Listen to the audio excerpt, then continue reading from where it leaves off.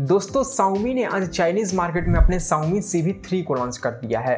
और दोस्तों, बहुत सारे लोगों को ऐसा कंफ्यूजन है कि क्या हमें इंडियन मार्केट में देखने को मिलेगा या फिर नहीं मिलेगा। तो आज की इस वीडियो में आपसे बात करने जा रहा हूँ इसी साउमी सी वी थ्री के बारे में कि आखिरकार इसकी स्पेसिफिकेशन हमें क्या कुछ देखने को मिलने वाली है। इंडियन मार्केट में कब आएगा? आएगा तो उसकी क्या कुछ प्राइसिंग होगी और उससे भी इंपॉर्टेंट भाई इंडियन मार्केट में आएगा भी या फिर नहीं आएगा या फिर ऐसे ही र्यूमर्स है तो सारी जानकारी इस वीडियो में आपको देने वाला हूँ साउमी सी थ्री से रिगार्डिंग तो बस आप इस वीडियो में इन तक जुड़े रहिएगा सो है गाइज़ मैं सौरभ, आप देख रहे हैं आपका अपना channel so without wasting any more time guys let's get straight to the video so दोस्तों, चलिए, सबसे पहले मैं आपसे साउमी सी थ्री के जो है स्पेसिफिकेशन के बारे में बातें कर लेता हूँ।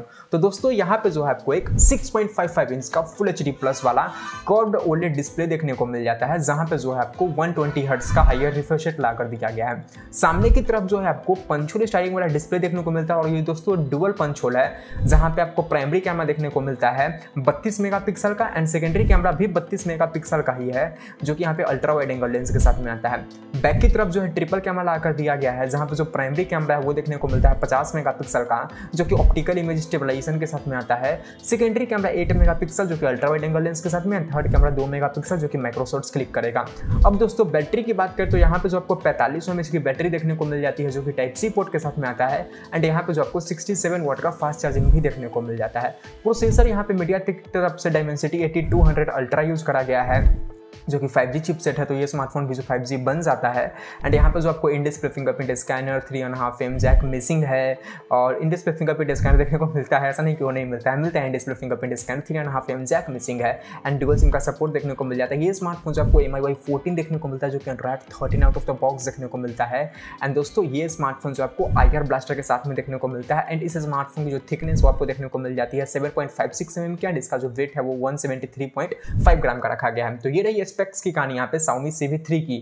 अब अगर मैं आपसे इसके और इंडिया लॉन्च और प्राइसिंग के बारे में बात करने से पहले मैं आपसे इसके चाइनीज़ प्राइसिंग के बारे में बात कर लेता हूँ। तो चाइनीज़ मार्केट में ये स्मार्टफ़ोन मल्टीपल वेरियंट्स में लॉन्च करा गया है बट जो इसका बेस्ट वेरियंट है वो आपको देखने को मिलता है twelve G B RAM plus two fifty six G B internal storage जिसकी प्राइसिंग चाइनीज़ मार्केट में रखी गई है, चौबीस सौ निन्यानवे वन जिसको अगर हम इंडियन रुपीज़ में कन्वर्ट करते हैं तो वो निकल कर आता है उनतीस हज़ार पाँच सौ रुपये तकरीबन तकरीबन।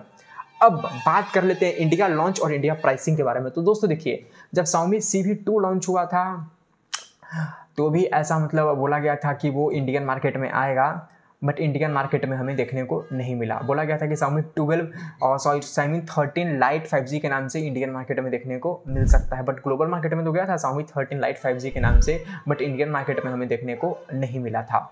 अब बात ये भी है कि ये साउमी सी वी थ्री क्या इंडियन मार्केट में आएगी? तो देखिए, बहुत कम चांस है कि इंडियन मार्केट में आए, आप ना ही समझ कर चलो। और ऐसे स्मार्टफ़ोन को जो है साउमी इंडियन मार्केट के लिए टारगेट ही नहीं करती इंडियन मार्केट में लेकर ही नहीं आती। बट खैर, अगर इंडियन मार्केट में आती है तो उसकी प्राइसिंग जो है पैंतीस चालीस हज़ार की अप्रॉक्सीमेटली हो जाएगी, जो कि साउमी के स्ट्रैटेजी को बिल्कुल भी जस्टिफाई नहीं करेगा इंडियन मार्केट के लिए। तो मैं बिल्कुल नहीं मतलब कह सकता हूँ कि इंडियन मार्केट में ये स्मार्टफ़ोन आएगा। तो बस यही जानकारी थी जो मैं आपको देना चाहता था साउमी सी वी थ्री से रिगार्डिंग तो बस फ़िलहाल के लिए इस वीडियो में इतना ही दोस्तों। अगर आपको वीडियो पसंद आया तो प्लीज़ इस वीडियो को एक लाइक तो कीजिएगा ही कीजिएगा। साथ ही साथ हमारे चैनल को सब्सक्राइब करने के साथ साथ बेल आइकन को भी क्लिक कर लीजिएगा। दोस्तों, आपका कोई भी क्वेश्चन या फिर ओपिनियन है तो नीचे कॉमेंट बॉक्स में पूछते आलिए तो दोस्तों, मिलता हूँ आपसे जैसे एक और नई वीडियो में। Till then have a great day and always keep smiling bye